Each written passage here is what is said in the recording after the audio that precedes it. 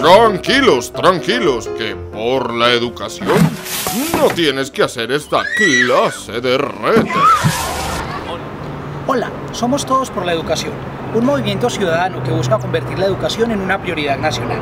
Por eso queremos retar a los candidatos a la alcaldía de Medellín, Alonso Salazar, Eugenio Prieto, Federico Gutiérrez, Gabriel Jaime Rico y Juan Carlos Vélez para que participen en el reto por la educación.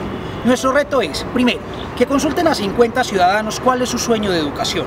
Segundo, que analicen esos sueños y los incluyan en su plan de gobierno. Tercero, que creen un video para que presenten a la ciudadanía su propuesta. Además, que activemos el debate en las redes sociales con el numeral Reto por la Educación.